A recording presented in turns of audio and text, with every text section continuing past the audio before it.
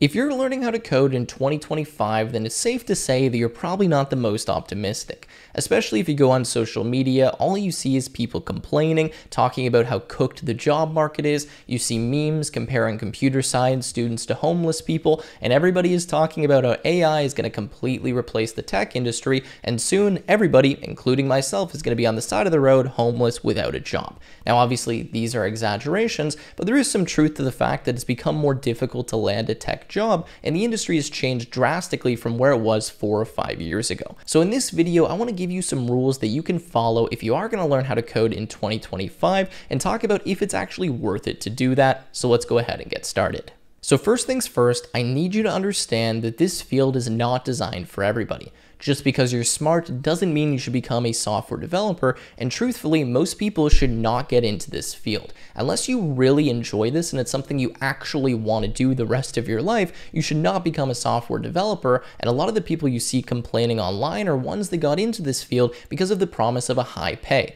They thought they were going to make a ton of money, they were going to land a job at Google after six months of going through a boot camp, and when that didn't happen, they started complaining. They weren't ready to put in more effort to actually land the job, and they quickly switched into something else because this just wasn't something they had a lot of passion for. Now that leads me nicely into my first rule, which is if you're gonna learn how to code, you need to make this fun.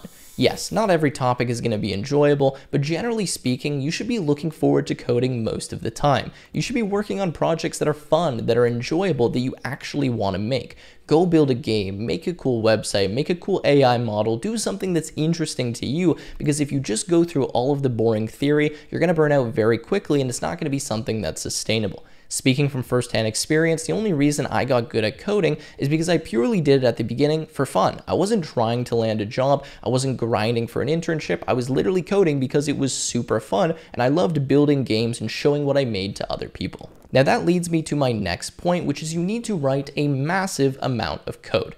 There's no shortcutting this. You need to put the effort in and you need to spend thousands upon thousands of hours writing code before you're going to be a competent developer.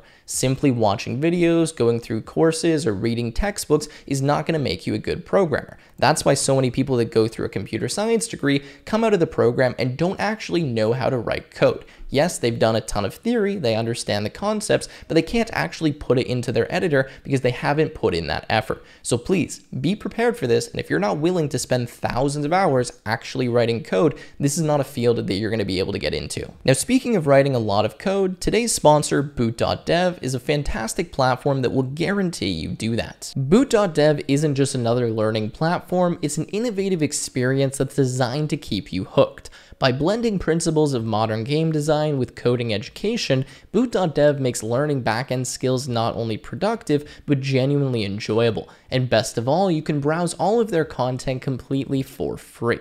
Here's what sets it apart. Boot.dev is all about hands-on practical learning. Instead of endless hours of passive video watching, you'll be coding directly in your browser, tackling real-world projects that grow your skills step by step. The focus is on backend development, so you'll be digging deep into areas like databases, APIs, and server-side programming, especially with Python and Go. What I like most is that it's structured like a game. You'll earn levels as you progress, unlocking fresh content and staying motivated as you hit new milestones. The platform emphasizes actual coding exercises and projects because let's face it, that's the only true way to get good at coding by writing a lot of code. And here's something else that you'll love. You're not just coding in complete isolation.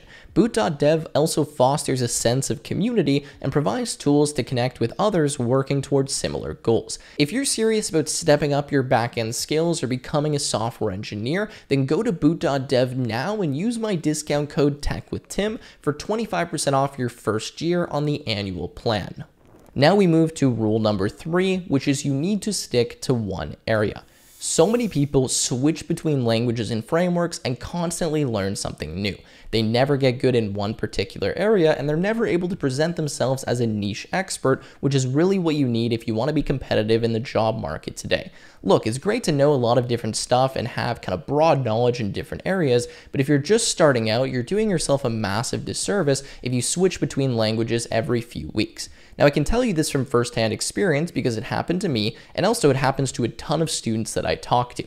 I'll ask them what have they been learning for the past year, and they tell me a hundred different things. When the answer really should be, I got very good at Python, I got very good at C++, I'm an expert at making games, I'm great in this framework, almost none of them present that. And that's why they don't have the skills to actually be productive and land a job because they've just went and dabbled in a bunch of these different areas. So when you're learning how to code, it's so important that you stay focused, you pick one area that you want to get good at, and you make sure that you complete your expertise in that area before you start moving on to a million different topics. Now that leads me to rule number four, which will help enforce rule number three, and that's that you need to follow a strict roadmap.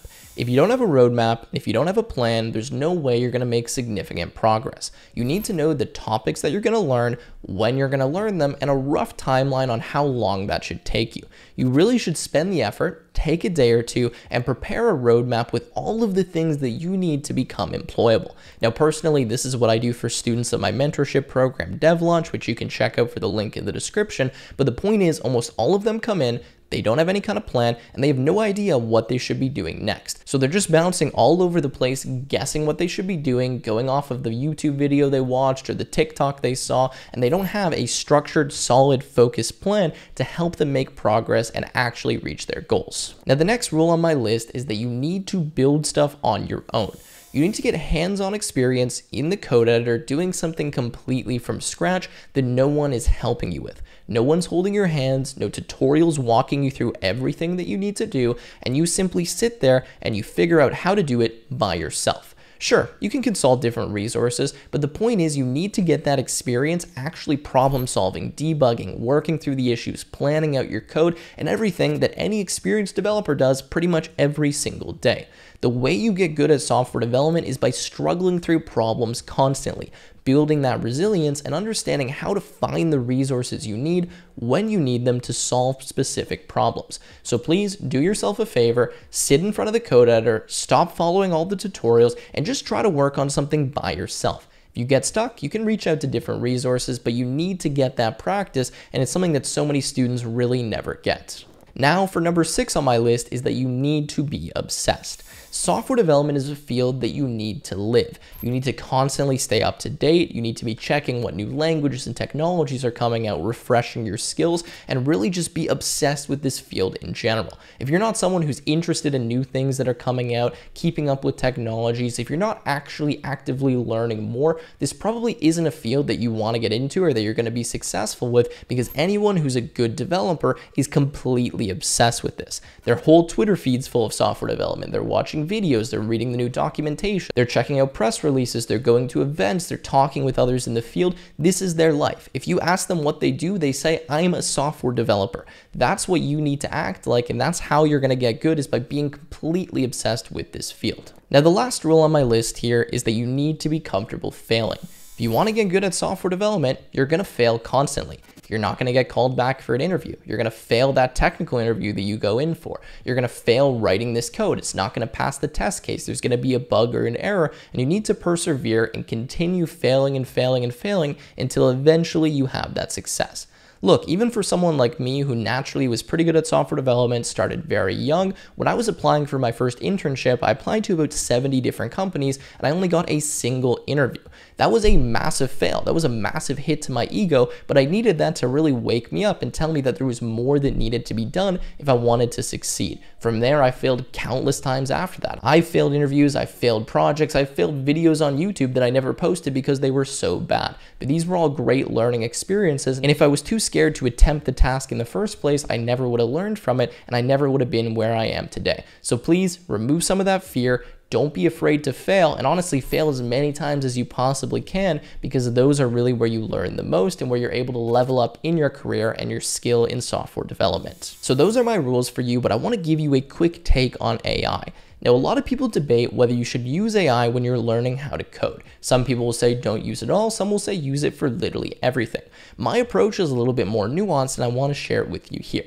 If you're learning how to code, I think absolutely you should utilize AI, but specifically for the purpose of learning.